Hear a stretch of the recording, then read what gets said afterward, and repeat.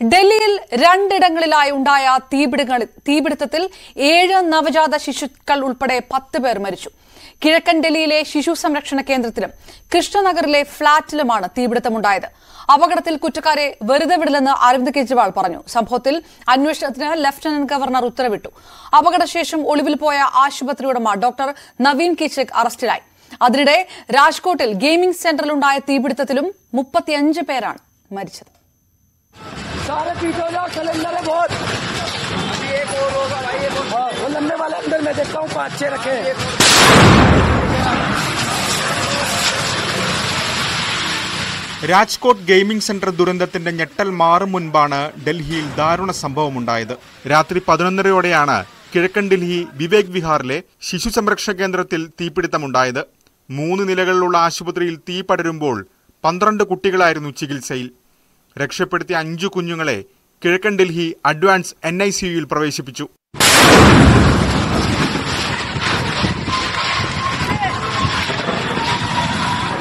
സമീപത്തെ അപ്പാർട്ട്മെന്റുകളിലേക്കും തീ പടർന്നു.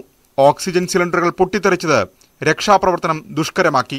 It was a very tough operation we made two teams one team started fire fighting because there was a blast of cylinder chain of you can say chain of blast of cylinder So we have to save ourselves also. So we made two teams. One team started rescue operations for, you know, for baby care, babies.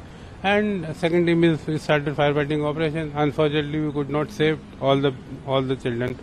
ആശുപത്രി കേന്ദ്രീകരിച്ച് ഉടമകൾക്ക് oxygen സിലിണ്ടറുകളുടെ വിൽപ്പന ഉണ്ടായിരുന്നതായി പ്രദേശവാസികൾ ആരോപിച്ചു हम कहते थे एक जना एयर लो क्योंकि हम बिलेंसर भर्ती करा था पर बिलेंसर भी एक परमानेंट रहा मैं वहाँ पर तीन दिन भर्ती रहा तो वहाँ पर तो रहने देते ये रहने नहीं देते पूरे दिन में चौबीस घंटे में बस एक बार दिखाते थे इग्नोर कर गया मैंने कहा कोई बिजली का सर, शॉर्ट सर्किट हुआ होगा दूसरी बार फिर आवाज आई थोड़ी देर में फिर मैं उठा वहां से चला थोड़ी दूर पे तो वहां से देखा तो मुझे धुआं दिखाई दिया फिर मैं आगे चला मैंने बच्चे से कहा मैंने कहा देखना जरा एक मिनट आया पता नहीं क्या हो गया കിഴക്കൻ ഡൽഹിയിലെ തന്നെ ഷാദ്രയിലെ അപ്പാർട്ട്മെന്റിലുണ്ടായ തീപിടുത്തത്തിൽ മൂന്ന് പേർ മരിച്ചു നാലു നിലകളിലുള്ള അപ്പാർട്ട്മെന്റിന് താഴെ പാർക്ക് ചെയ്തിരുന്ന ബൈക്കുകളിൽ നിന്നാണ് ഒന്നാം നിലയിലേക്ക് തീ പടർന്നത് മുകളിലെ നിലയിൽ താമസിച്ചിരുന്ന പന്ത്രണ്ട് പേരെ രക്ഷപ്പെടുത്തി.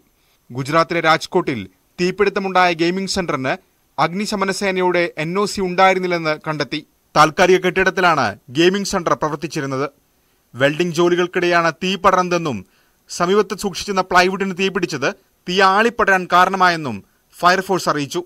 അവധി ദിവസമായതിനാൽ കുട്ടികളും രക്ഷിതാക്കളും കൂടുതലായി എത്തിയതും കെട്ടിടത്തിന് ഇടുങ്ങിയ പ്രവേശന കവാടമായതും ദുരന്തത്തിന്റെ വ്യാപ്തി കൂട്ടി. ഗെയിമിംഗ് സെന്റർ ഉടമയെ പോലീസ് അറസ്റ്റ് ചെയ്തു.